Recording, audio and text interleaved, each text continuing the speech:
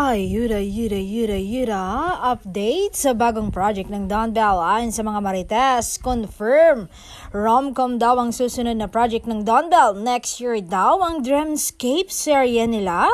Ay bongga sunod-sunod at konting-konti na lang daw ay ang paghihintay natin Don Bell fans. Konti na lang ay ready na nilang i-announce ang kanilang project. Excited na nga raw ang couple dahil ibang-iba daw ito sa mga nagawa na nila nilang movie at teleserye. Kaya Don Bell fans, excited na ba kayo? Comment down below.